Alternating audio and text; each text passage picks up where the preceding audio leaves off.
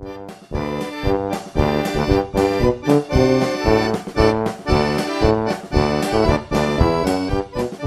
it's Mike again with UGtastic. Today I'm sitting down with Giles Bowkett. Uh, you might know him on Twitter as Giles Goat Boy. He's been around uh, in the Ruby community pretty much since, well, since there's been a Ruby community. He's a really active uh, FOSS developer. He's done, um, written the book um, Rails as She's Spoken, and uh, recently written a very interesting blog post about respect in the community, about uh, having a sense of decorum in our in our communications with each other.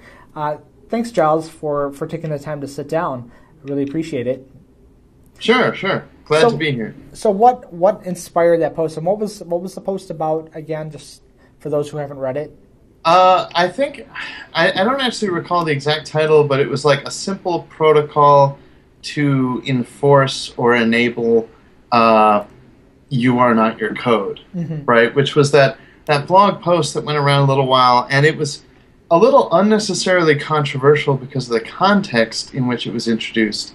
Even though the, the essential idea of the blog post was, I, I think, very valid, and that you know, oh, sorry, go ahead. I was say the, the for those that don't know, the you are not your code was about some people had severely criticized code. Uh, there was you know RVM versus RBEnv and then there were some comments about a person who had contributed some some I guess, yeah yeah code. And, well, let, I'll, i want to give the backstory then. Um, so the backstory was that uh, RVM was like the you know probably still is the dominant uh, Ruby version manager, which is what it stands for, mm-hmm. and um, uh, Sam Stephenson, I think somebody created a version called uh, created a variant, a similar thing that worked differently, mm-hmm. called RBEnv, and uh, introduced it with some snark in the README, uh, which they then removed after there was sort of like a Twitter drama about mm-hmm. it, uh, and then you know, you are not your code came uh, as a blog post from Sam Stephenson, maybe like two days after he tweeted that um, you know he he found it very frustrating that every time he talked about the differences between RVM and RBEnv, uh, people started talking about how they felt that Wayne Seguin, who created RVM, was a good guy right. and they liked him and they didn't want to be mean to him. And you know, he he wrote this big blog post about you know you are not your code. If I criticize your code, it doesn't mean I hate you. It just means I want I, I think this code should be different. And it was a totally valid point, but in context, it, it kind of just didn't. Um, it didn't quite work because when I read that, I, I didn't feel like, oh wow, you know, he's saying this because he wants everyone to be more, you know, nice.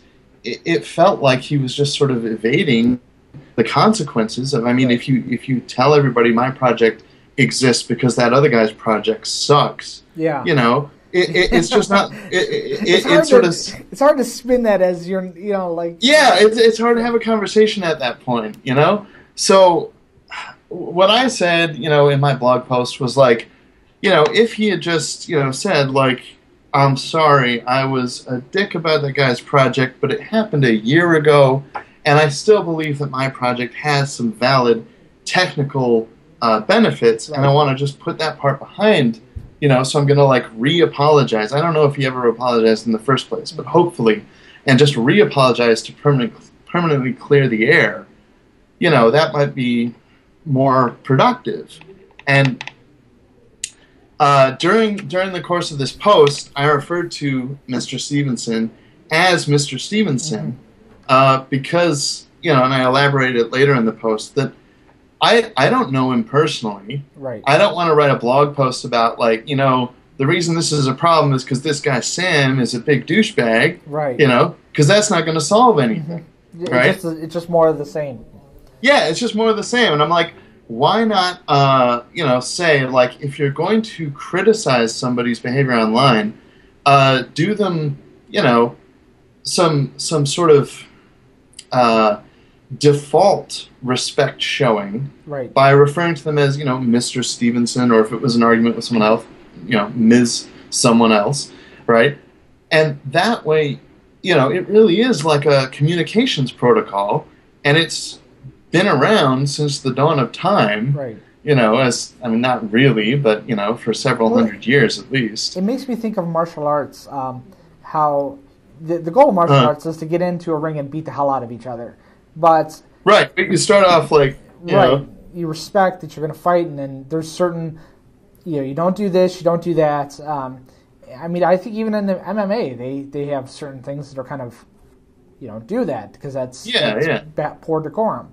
Um, you know that it's a reminder that yeah, we are sometimes we're in competition. My, you know, our our, our ideas are something that we create and we want to put out there, and sometimes we don't like an idea and we would like our idea to be adopted. You know, I'm sure uh, Mr. Stevens uh, wanted his idea to be adopted and taken on as the the, the primary goal. Just, the, the way, yeah. Right. Uh, sorry, just uh, it, it's actually Stephenson, Mr. Stephenson. Stephenson. Okay. Yeah, uh, but and you know, and he has, by the way, just you know to say, like another reason I want to you know make sure that if I disagree with him, I still show respect is because he, I think he wrote Prototype, uh, right. if I recall correctly, which you know very very influential. He's been no and, slouch. Yeah, no slouch, and and Pow as well, I think. But yeah, sorry, you were saying. You were saying. But, uh, I was just saying that that uh, uh, well, I was talking about the, the martial arts uh, analogy, uh, but and, and going back to what you're saying about um, uh, when somebody says you are not your code, a lot of it is in the, the, the, delivery and the demeanor of, of the person saying it. I think about I interviewed Leon Gersing, and um, when he says you're not your code, it's very man it's okay. You're not your code. It's don't worry about it. That's yeah. what you were at that time when you wrote it, and it's great. You know, let's let's just you know, it's kind of um very the dude esque. It's kind of Lebowski esque. Um, but um, uh, and also think about another person who's contributed. Uh, uh, um, Andy Lester, who created ACK and some other tools, uh, mostly in the Perl community. Uh, he he he. Um, ACK is awesome. I yeah, and ACK's ACK was better than grep. So I mean, a little bit of like a little bit of tease, a little bit of a jab, all delivered in a very um, uh, congenial, uh, jovial way. And when somebody came to me, when I interviewed him, he was talking about uh, a person was creating a tool called Better Than ACK, and they worried that he would be offended. And he's like, "No, no, that's you know." It, right, it's a worthy goal. Yeah, yeah, it's good be better. but you know that it was delivered with in a way that could still be interpreted as as humorous. But I think yeah, yeah. I'm, I'm gonna I'm gonna go out on a limb here and I'm gonna say sometimes certain people and and it tends to be in the Rails community uh, that I've I've noticed have a little bit of an acerbic way of of delivering. I'm trying to say it in the nicest way possible. That they can be a little bit caustic in, in, in their opinions. Yeah, there is there is a lot of that, and uh, you know, it, it doesn't really take very much of it to get a whole atmosphere started. Mm-hmm. And once you have that atmosphere, uh, it kind of seems like you know you've got. Well, it just it, it, it, takes the fun out of things, right? Like that that um, I don't know if it's anger or you know uh, just just like a really harsh approach to time management or something. But when you when you see that stuff, you know, sooner or later you're going to have to call somebody on it, mm-hmm. and you know, it might not be fun to do. It, like in a in an ideal world, it would all just be humor, uh, you know. But people don't like being made. You know, if someone has a serious mentality, mm-hmm. people don't like being made fun of. Right. Right. And like when, you know, like when that that acerbic vibe is introduced, you know, you might be able to diffuse the effects. Like, you know, I'll I, I don't want to dance around the issue. One of the um, major sources of um, intense speech in the Rails community is uh, the creator of Rails, David Heinemeier Hansson, and you know, if you want to criticize Mr. Heinemeier Hansson, uh, there is the somewhat um, obvious challenge that he is an amazing programmer. And, you know, I mean, I personally, my life was changed for the better by using his software. mm-hmm. you know, by by a staggering degree. And I've learned a, a great deal from you know from watching what he did and, mm-hmm. and, looking at his code and so on and so forth. Um, and I, I really feel that there has to be some way to prevent like a you know you've got in ruby in general you've got this notion of Matz is nice so we are nice mm-hmm. uh, and if you can't have that as like a guiding thing then maybe making sure to to demonstrate respect for someone who you disagree with can kind of settle things down in another way. Mm-hmm. You know, like humor is a really good way of diffusing tension. Like I I made fun of uh, Mr. Hansson mm-hmm. uh, with a dramatic reading of Rails' is Omakase, which is a blog post he wrote. And I was like, you know, this will probably not do great things for my relationship with that particular individual. I, I doubt my respect for him in general is going to be readily apparent in my you know, because the reading is, uh, I, I, exaggerated it and, and made it funny, I hope, right? And, and certainly some people found it funny, which is what you hope for.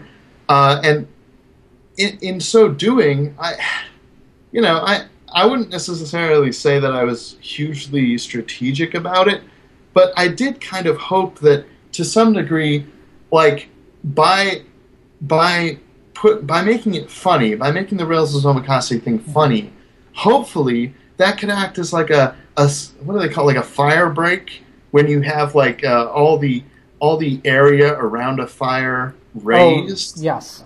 Yeah, and, that way and, nothing can burn in that area. Yeah, to prevent to prevent the sort of uh, the acerbic fury from spreading, you know, and like creating a whole toxic atmosphere. Was it a little bit of make fun of myself before anybody else can make fun of me for me?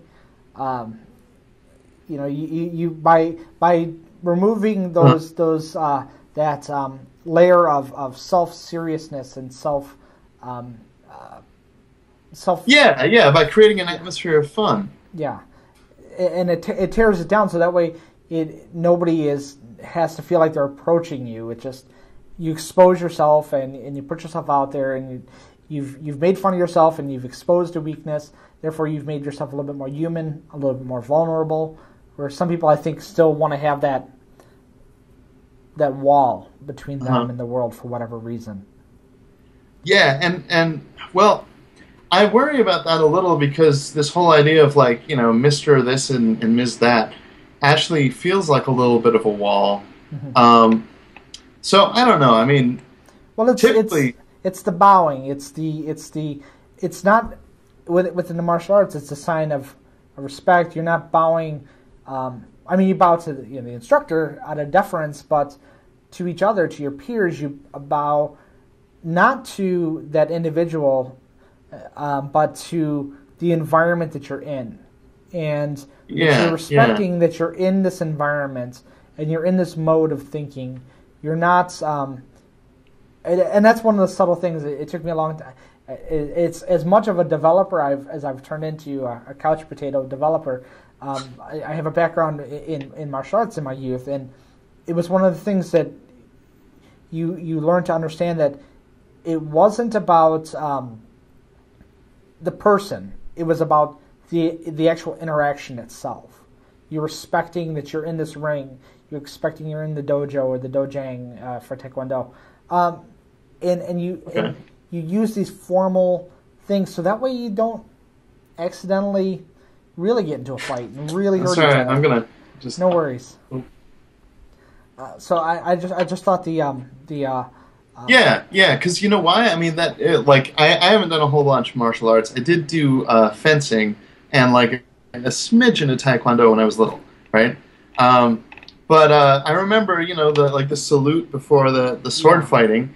And you know part of it was because you wanted it to be over once you got out of the ring mm-hmm. right you, you and you didn't want it to be like some big thing.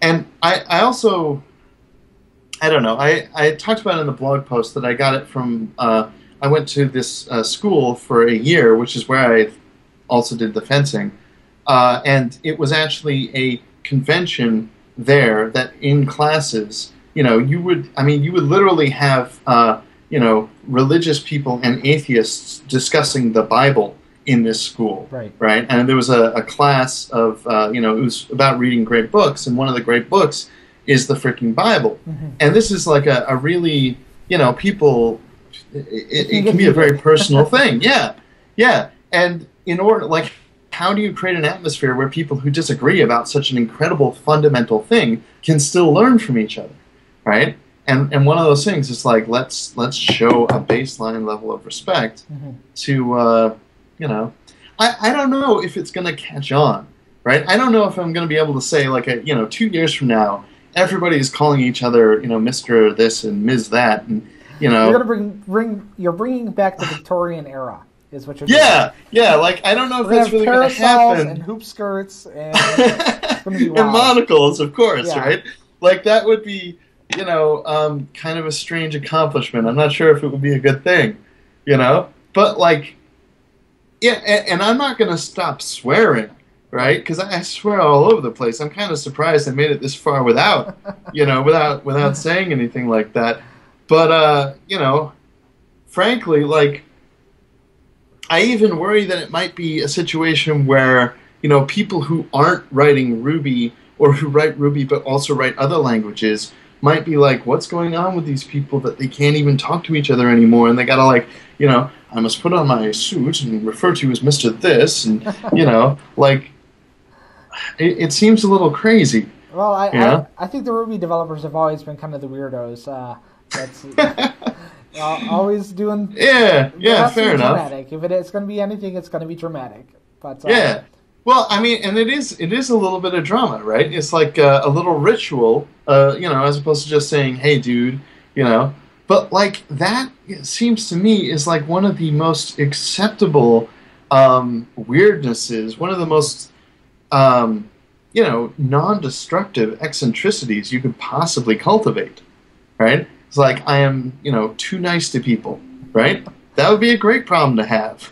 Yeah, but and it, it is one of the things that I, I also didn't start off in a Ruby uh, world. I came from uh, .NET development, which was very very corporate, very very um, uh. formal, but in a different way. Um, can I can I just interrupt sure. one? I, I, know I talk a lot, but no worries. One thing I absolutely hate about corporate environments, fucking cannot stand, is when people like you know I'm going to use my corporate position to tell you what to do, and I'm going to call you by your first name but there's also this little atmosphere that if I'm like, you know, Mr. VP, right, or whatever, mm-hmm. or CEO guy, you can't call me by my first name. Right. Right?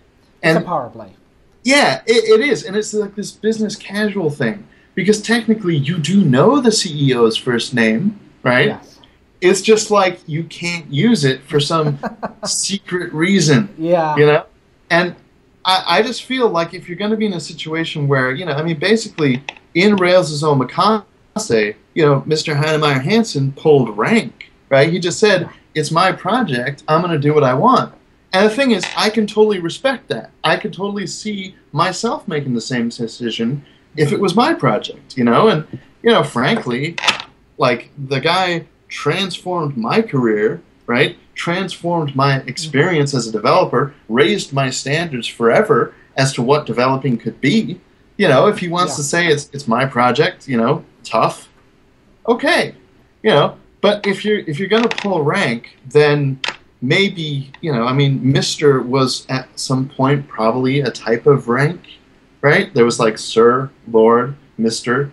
You know, uh, if you're a butler, yeah. you refer to you know it, like uh, okay, this is a massive tangent, but watching Batman movies, whenever there's a Batman story where Bruce Wayne is a kid, mm-hmm. it makes me very, very angry because they always have Alfred referring to Bruce Wayne as, you know, Mr. Bruce, right? Or Master Wayne. Uh, actually, they don't do that, but they should. Like, if you're a butler and you're speaking to your, like, you know, Lord's child, mm-hmm. you refer to it as uh, it. You refer to them as master, mm-hmm. right? Even though they're a kid, when they grow up, they become Mister. It's a very strange thing, you know. It's a yeah. relic of the Victorian era. Yeah, I, I, think that's total tangent. I, I, don't think that master Could means edit that out. I don't, no, no, no, no, We're gonna keep it. Just, no, Batman we, movies and their historical inaccuracy. I don't know. that guy running around with a cape and the flying Batwing. It's so inaccurate. uh, yeah, I accept the cape and, and the like, you know, the spaceship that he just drives around New York in. Yeah. But, you know, mis misusing Victorian era titles, you know, in their subtle differences. Ooh. I'm sure even in the Victorian era, there was there was always some little subtlety that that would get somebody hung up on something, literally hung up, probably. Yeah. Um, yeah. But uh, uh, so, just you know, kind of coming uh, to a wrap, I want to actually go backwards in history a little bit, and you've you've been involved in uh, open source software, it, so you you have a perspective so when you're writing this blog post, you're not just coming out of the blue and saying, "Oh, I'm somebody who's been outside of this community and this is just what I see uh, is going on here." I mean, you've been doing Ruby development since before Rails, right? Uh, no, not quite. I mean, okay. when you talk about like, I wanted to interrupt earlier, but I, I didn't because um, you said like doing Ruby development since the beginning. And if you look at someone like I don't know, uh, Avdi Grimm or Jim Weirich, right? They really were around before Rails. Mm-hmm. Uh, me, I, I was brought to Ruby by Rails technically in 2005, oh. but we're talking like December 28th, 2005. So really, 2006. But it was like a zero dot something still around that. Yeah, time. it was it was Rails zero dot one three, um, and I did spend a bunch of time just you know on you know Ruby uh, for its own sake. Mm-hmm um, because you know it, it's neat.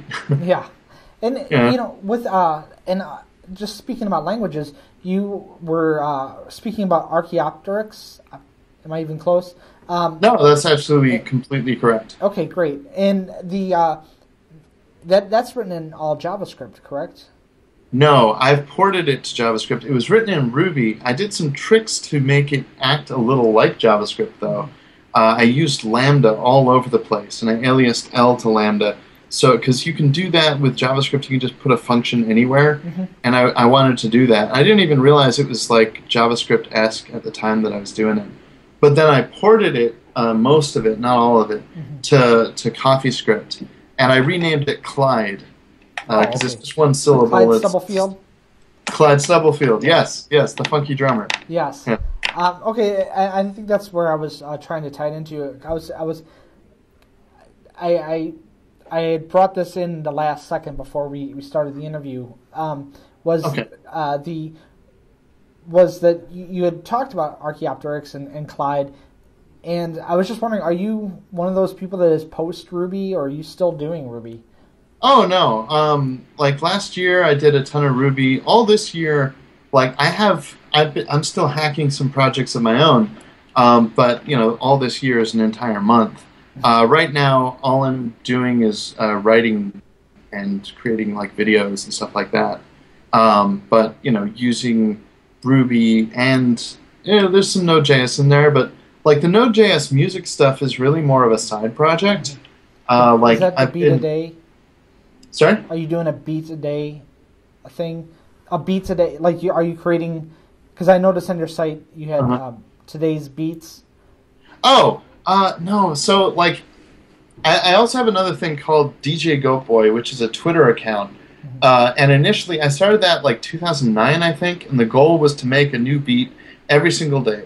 Right. And I, I, got the idea for that uh, from Courtenay Gasking from ENTP, um, and it was it was a really good idea, and it made me much better at making music. Uh, but the majority of those are just made, you know, like I have like a synthesizer and actually four, you know, or or three point five or whatever. Actually, I don't I don't know how many synthesizers I have because where's my iPad? I got like like four on here. Oh, yeah, on your, but, on your iPad. Yeah, yeah. I mean, you can buy like the iPad's amazing. You can get a synthesizer for like five dollars. uh, but for but, virtualization. Yeah, yeah. Yeah, and some of them are really amazing. But um, epic tangent. Point is, like some of them I create like in the you know in the normal way that a person would create music, and then some of them I create with code. And I recently just got uh, Clyde uh, able to do bass lines as well as drums. And I, I, don't use it as much as I use the the typical tools, but I think once it's a little uh, honed, because I kind of put it aside for a while. I was doing all kinds of other things for a while. Um, but I think it's actually really going to be useful because I was finding that the music that I was making was more exciting to listen to.